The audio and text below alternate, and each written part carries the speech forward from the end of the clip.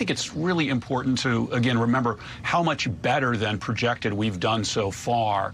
Uh, back in May, it was projected that we would lose 7.5 million jobs.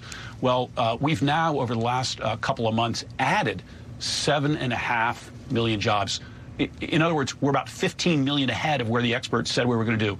We're, doing very well. Uh, we do need to be careful about the virus, but I am just optimistic, um, uh, among other reasons, because uh, USMCA went into effect last week. We mm -hmm. finally put NAFTA to rest. This was something that was uh, so important to the president.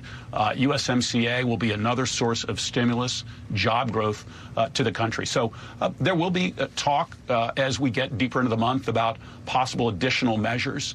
But I am optimistic, as I know the president is, about how we're reopening, the success we're having right now, rebuilding that really extraordinary economy that we had through February until the virus came game.